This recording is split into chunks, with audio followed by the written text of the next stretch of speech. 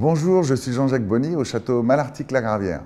En 2023, on a eu un climat océanique typique de, Bordeaux, avec un hiver pluvieux, euh, des gelées avant le débourrement, ça c'est plutôt toujours une bonne nouvelle, euh, des giboulées de mars en mars, ça fait, ça fait plaisir, et un printemps, euh, certes parfois pluvieux, mais des belles journées ensoleillées, l'été avec des, des, montées en puissance de température et des abados, comme on les appelle, suivi d'une arrière-saison qui a fini de peaufiner la maturité euh, des tanins, euh, des, cabernets qui sont euh, magnifiques et, les merlots qui ont aussi une, race cette année qu'on leur connaît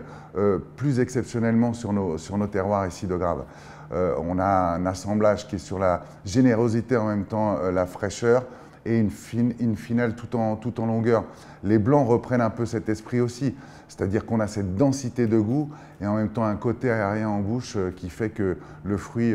jamais ne s'arrête. On est, on est ravis.